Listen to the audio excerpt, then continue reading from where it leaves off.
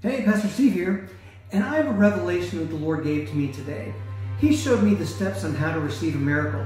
Does that sound like something you might be interested in? Well, I encourage you to grab your Bible, sit down with me, and let's take a look at some of the things that He showed me today. So, what are the things that we need to do to be able to receive a miracle? Well, that's just it. Most of us are trying to do things to receive a miracle, but the reality is, is that God doesn't want you to do anything but believe. So that's not the only step. There's lots of steps be, between these different things. And if we look throughout the Bible, we're going to start seeing this revelation come to pass in every single one of our lives if we simply apply these simple steps.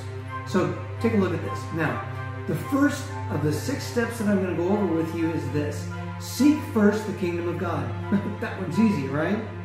If you're looking for a miracle to come to pass in your life, shouldn't you be looking for something to happen in your life? I mean, shouldn't you be looking to God Himself? If He's the miraculous, all powerful, um, miracle working God, then He would be the one that we should be seeking after.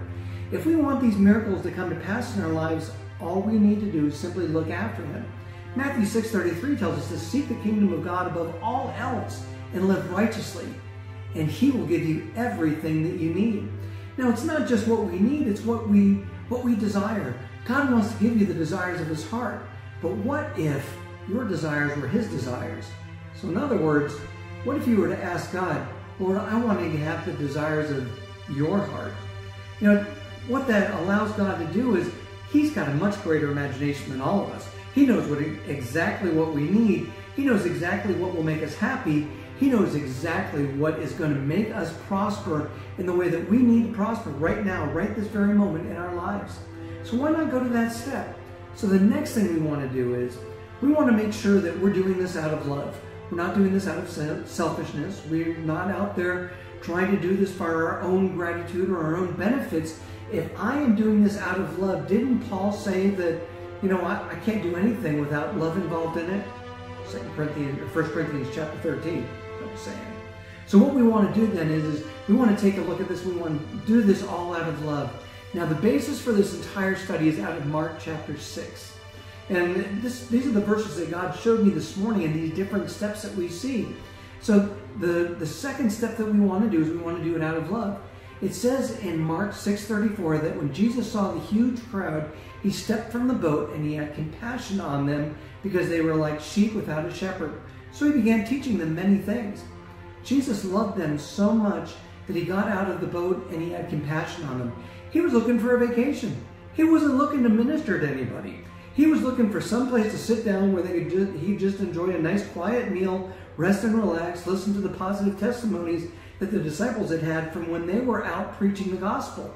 He wanted to hear their stories. And yet he, he gets out of the Bible, out of the boat, and there's 5,000 men and all their kids there, and their wives.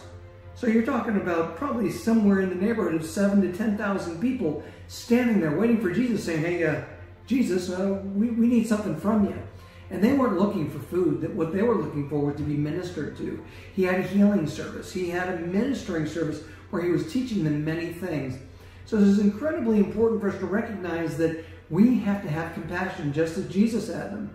And in fact, we read that in Luke 6:36, right? It says, "You must be compassionate just as your Father is compassionate."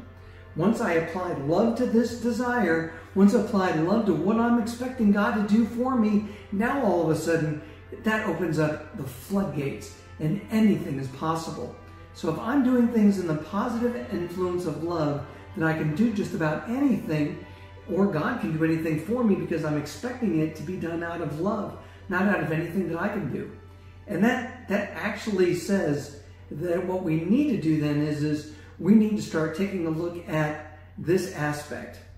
We want to make sure that when we do these things, that we do it out of love. We don't want to labor of it.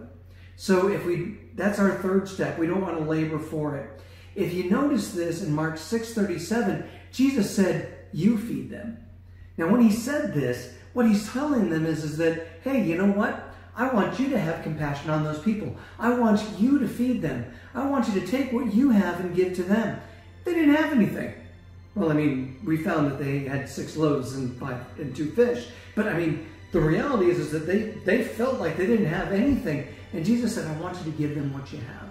And isn't that love in, in its perfect sense.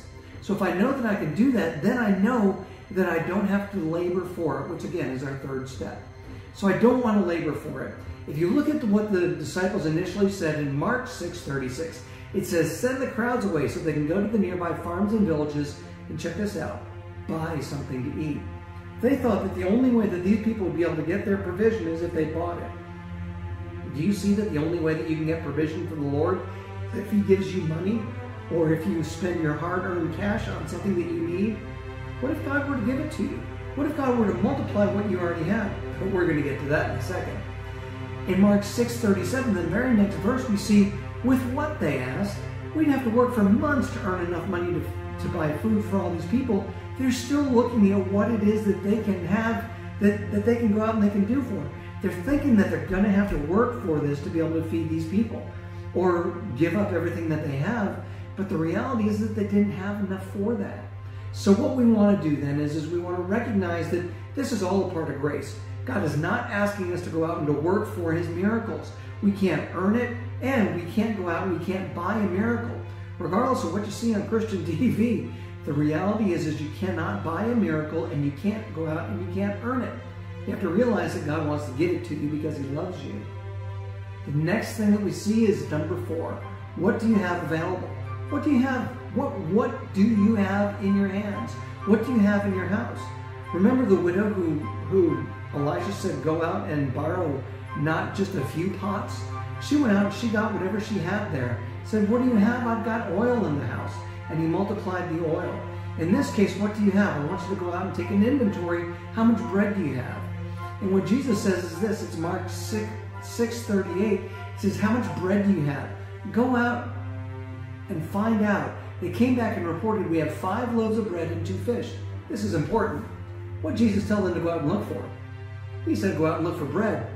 The disciples still had a mindset of, Well, I'm just going to help out God a little bit, and here's two fish too. I mean, do you see that? He, he so to go out and look for bread, they went out and they found bread and fish. So they had more than what they originally thought, which is a key critical part of this as well. But the other part of this is, is that we don't have to help out God. But you know what? When we show up and we say, Lord, we have these other things, He doesn't rebuke us for it. He encourages us. He goes out and He does the things that we want, that we know that we need.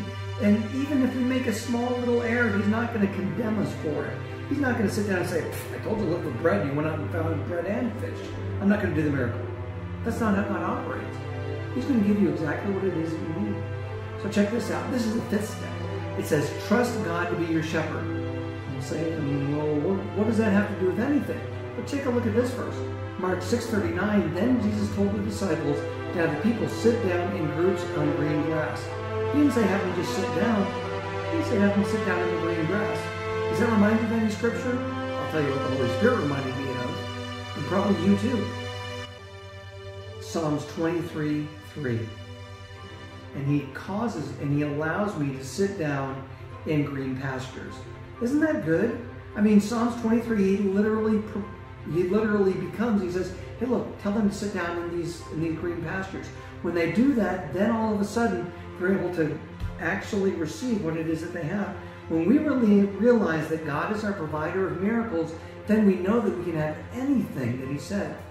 You know, Psalms 115 um, tells us that the Maker, may you be blessed by the Maker of the heavens and the earth.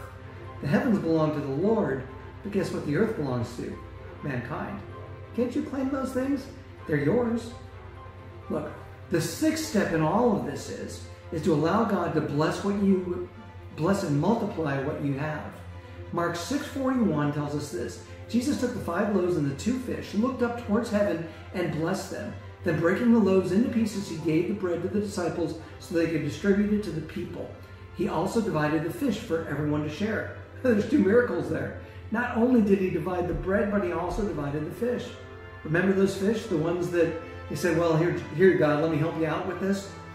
In spite of the fact that they were trying to do it on, them, on their own, Jesus still took two fish and fed well over 5,000 people with it. That's powerful when we look closely at it.